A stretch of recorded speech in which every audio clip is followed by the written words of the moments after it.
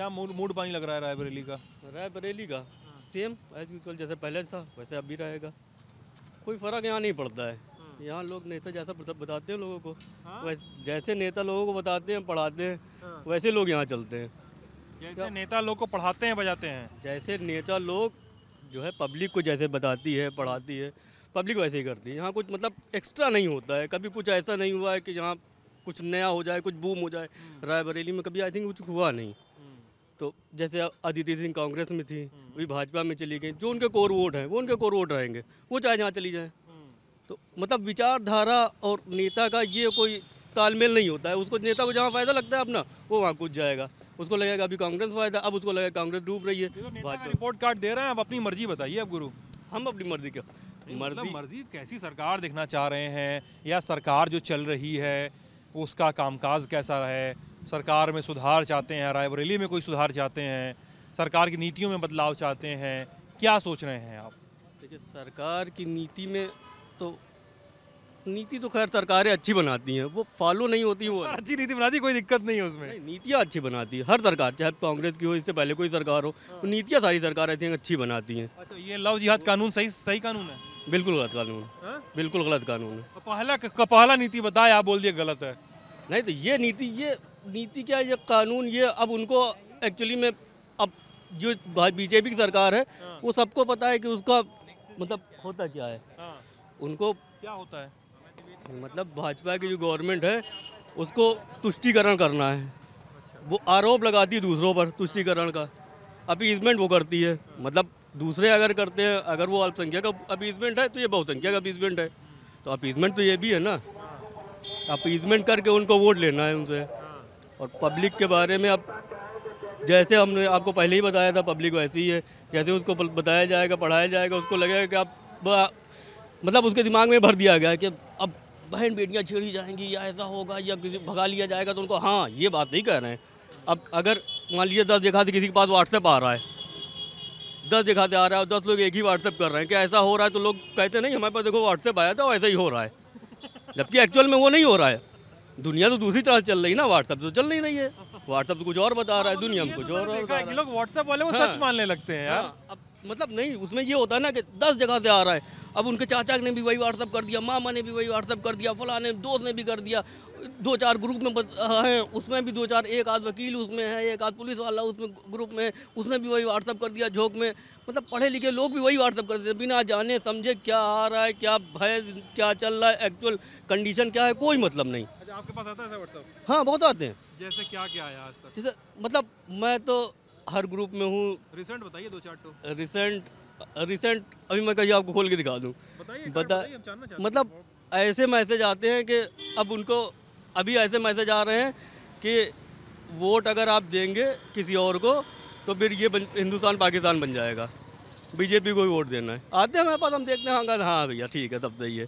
उधर दूसरी दूसरी के तरफ़ अलावा किसी और को देंगे हाँ। तो हिंदुस्तान पाकिस्तान हाँ, बन जाएगा अच्छा। मतलब ये कौन सी बात है? साठ साल सत्तर साल हो गया आज तक भी बना नहीं। हम्म, अब बन जाएगा अब कैसे बन जाएगा भैया? हम्म। मतलब कुछ ऐसा कुछ हो गया है या फिर सेना हमारी कहीं चली गई है या आप सेना को कमज़ोर समझते हैं कि सेना पाकिस्तान बनने देगी या जो है हमारी जो है जुडिशरी इतनी कमज़ोर है कि वो नहीं कहे कि आओ भैया हाँ पाकिस्तान बनाओ इसको ये भी हिंदुस्तान ये भी पाकिस्तान बनेगा। भाई हमारे नजमुल हसन रिजवी। नजमुल भाई तो अभी आप बता रहे थे कि सरकारों की नीतियाँ बड़ी सही होती हाँ, हैं और पहले ही कानून पे आप अलग हो गए। नहीं पहले कुछ कानून जैसे अब ये तो कानून अपीजमेंट के लिए है ना ये तो आपको भी खैर हम अगर ना कहें तो आपको भी ऐसा लगता होगा। मैं तो मैं मेरी राय मेरी राय मेरी राय इस पे थोड़ी सी अलग भी हाँ, उससे उससे पहले भी इस तरह के कानून बने हुए हैं, इस तरह के अगर कोई मैरिज में गलत करता है तो उसके लिए पहले से कानून बना हुआ है, उसके लिए पहले से वो दंड के प्रावधान हैं। कुछ नया हमारे ख्याल से मतलब किसी धर्म विशेष के लिए नहीं करना चाहिए। किसी हाँ धर्म विशेष के लिए, अगर कर रहे हैं तो भी दोनों के लिए कीजिए, वो भी सही है। भाई कोई भी ऐसा गलत करे, उसके लिए एक ही कानून लाइए, सही है। किसी एक धर्म के लिए करते हैं तो भी मतलब अपीजमेंट वाली चीज़ फील होती है कि हाँ ऐसा क्यों है? और ये यही सा, यही आरोप लगता है अखिलेश यादव पे कि वही मुसल, मुसलमानों के लिए सारा काम करते थे। ये आरोप बीजेपी उन पर लगाती है। हाँ तो वो लगाती है उसका प्रूफ दे वो भी सही है। अगर वो कर रहे हैं तो वो भी गलत कर रहे हैं। ऐसा नहीं है कि वो अगर गलत करेंगे तो वो सही हो जाएगा नहीं होगा। अगर अखिलेश यादव करेंगे गलत तो वो भी गलत है। और अगर योगी करेंगे गलत वो भी गलत है। केजरीवाल करेंगे वो भी गलत है। ओवैसी करेंगे गलत है वो भी गलत है। मतलब गलत चीज़ गलत ही है। उसको कोई सही नहीं कर सकता। ये मैं जानना चाहता हूँ कि कई लोग आप लोग भी चाहें तो बात कर सकते हैं ऐसे कोई रोक टोक नहीं है। आ, आ, लोग हमसे और बड़ा क्यूरियोसिटी है कि मुसलमान जो हैं मुस्लिम वोटर जो हैं ओवैसी को कैसे देखते हैं? बिल्कुल ओवैसी को हमको नहीं लगता कि ओवैसी को लोग पसंद करते हैं। मुश्किल से अगर मुस्लिम का दस परसेंट मुस्लिम भी वोट दे दे अगर ओवैसी को तो बड़ी चीज़ है आई थिंक हाँ। क्योंकि लगता है ओवैसी किस लिए आए हैं? भैया सरकार बननी नहीं उनके कर कुछ पाओगे नहीं तुम। आगे क्या करोगे? यहाँ मतलब और जिस तरह का माहौल चल रहा है, उस तरह के ओवैसी जो है, एक मतलब जैसे दाल में तड़का नहीं होता है, और तीखी हो जाती। तो ये और तीखा इलेक्शन को बना रहे हैं बस। एक तीखा तड़का लगा देंगे इलेक्शन में बस, और कुछ नहीं, और कर कुछ नहीं पाएँगे। और होना भी, और उनसे फ़ायदा भी क्या है? मुस्लिम के लिए करें क्या? और मुस्लिम को अकेले चाहिए भी कुछ नहीं। भाई, हमको सबको चाहिए, हिंदू को चाहिए, इनको चाहिए। भाई, जो हमारे लिए हो उनके लिए भी हो। सड़क बनेगी, हम भी चलेंगे, ये भी चलेंगे, ये भी चलेंगे, सब लोग चलेंगे। हमको स्पेशल क्या चाहिए? कुछ नहीं चाहिए। सब कुछ तो हमको सेम चाहिए तो ऐसे हम क्या कई मुस्लिम इलाकों में गए ना और मुस्लिम इलाकों में जाते ही ये बात होने लगती है कि लोग कई कई बार आरोप लगाते हैं जैसे मैं कुछ मुस्लिम महिलाओं से मिला। ये कानपुर में मिले थे मोहन? कानपुर में मुस्लिम महिलाओं से मिले थे? कानपुर में मुस्लिम महिलाओं से मिले हम लोग। फिरोज़ाबाद में एक मुस्लिम बस्ती में गए। तो वो ये बोलते हैं कि सरकार हमें शिक्षा नहीं देती है। सरकार मुसलमानों को शिक्षा नहीं देती है। हाँ तो मुसलमानों को इस पर यह करना चाहिए उसको खुद अपने एजुकेशन हब बनाने चाहिए। सरकार के भरोसे आप कब तक बैठे रहेंगे? सरकार तो आप- आपके घर के आगे सफ़ाई भी नहीं करती, आप घर के आगे झाड़ू नहीं लगाते। नहीं दे रही, हमको पता नहीं दे रही। चलो नहीं दे रही। मुसलमानों को खुद अपने एजुकेशन हब बनाइए, खुद अपने गाइडेंस सेंटर उनको बनाने चाहिए खुद अपने बच्चों को आई एस बनाने चाहिए। अब कब तक बैठे रहेंगे? आप सरकार नहीं दे रही है तो क्या पढ़ोगे नहीं? सरकार नहीं दे रही, खाओगे नहीं, कमाओगे नहीं? खुद भी तो करना चाहिए। ये तो मैं हर, हमेशा कहता हूँ कि भैया मुसलमानों को हमेशा एजुकेशन में आगे आना पड़ेगा अब तभी मुसलमान साथ चल पाएँगे। नहीं तो पीछे चले जाएँगे वो जा ही रहे हैं पीछे और भी पीछे चलते चले जाएँगे। और मदरसों को लेकर क्या कहना सोचना है आपका मदरसे?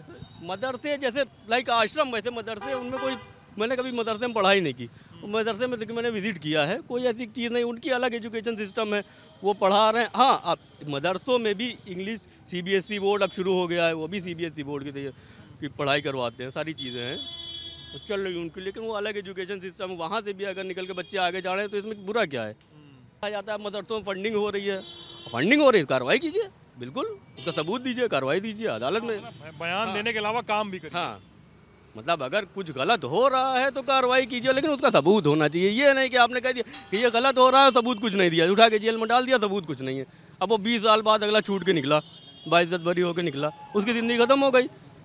मैसेज क्या गया कि हाँ मदरसों पर कार्रवाई कर दी। मैसेज भी कर दिया एक तरफ़ आपने अपीजमेंट भी कर दिया। दूसरा, उसकी ज़िंदगी बर्बाद हो गई। दोनों चीज़ें आपको मतलब वोट भी आपके पास है और एक दूसरी, एक कम्युनिटी को बैकफुट भी आप डालते चले जा रहे हैं। उससे फ़ायदा क्या है? मतलब उससे हमको नहीं लगता हमारी कंट्री आगे बढ़ेगी। हमको सबको लेके चलना है ना। हिंदू भी हमारा, मुसलमान भी हमारा, सिख भी, सब, सारे लोग मतलब अगर कोई कम्युनिटी एक राष्ट्र के तौर पे अगर हम देखें तो कोई कम्युनिटी अगर एक परिवार होता है, उसमें अगर कोई अगर सदस्य परिवार का कोई कमज़ोर होता है तो बाकी सदस्य उसकी मदद करते हैं। किसी फाइनेंशियल कोई बीमार हो गया तो उसकी जो है वो स्वास्थ्य में या उसकी जो है दवाई इलाज में लोग मदद करते हैं। तो ये देश अगर सरकार है तो उसका लिए पूरा देश है। सबको देखना है, अगर कोई कम्युनिटी पीछे जा रही है, भाई देखिए, अब एससी को जो है वो दिया गया है, आरक्षण दिया गया है, किस लिए? आपको पता है ना, पीछे हैं। तो उनको आगे लाने के लिए भाई हमारे साथ में आ जाएँ। पीछे हैं तो साथ में आ जाएँ। इसलिए उनको आरक्षण दे दिया गया। इधर अगर मुसलमान का आपको पता है कि एजुकेशन उनकी पीछे जा रही है। तो उनके एरिया में खास कर एजुकेशन का बूम लाना चाहिए आई थिंक अब वो नहीं ला रहे हैं तो जो ओलेमा है ये पता नहीं क्या कर रहे हैं। इनको लाना चाहिए। ये भी सर मैं पहले था वर्ल्ड हेल्थ ऑर्गेनाइजेशन में मॉनिटर अभी कर रहा हूँ आरपीए रोबोटिक प्रोसेस ऑटोमेशन और डब्ल्यू एच ओ में क्या कहते हैं मॉनिटर थे। हाँ मॉनिटर था। अच्छा, वर्ल्ड हेल्थ मैंने RPA आरपीए। Robotic process. ये होता है रोबोटिक प्रोसेस ऑटोमेशन इसमें जो इतनी भी डेटा रिलेटेड सारी चीज़ें होती हैं उसमें रोबोट के थ्रू करवाई जाती हैं। रोबोटिक करवा दी जाती हैं तो ऑटो हो जाती हैं। तो ये में काम होता है अभी? ये ऑनलाइन होता है। अच्छा ऑनलाइन हाँ जो मेरे क्लाइंट हैं वो अमेरिका के हैं और कर्नाटक के हैं। अच्छा हैवी सिस्टम्स पे काम होता हाँ, हाँ, हम्म, होता होगा। लाइक दैट कंपनी आपकी कहाँ की है? कंपनी यही की है रायबरेली की। जो हमारे जो हेड हैं वो यहीं रायबरेली के हैं।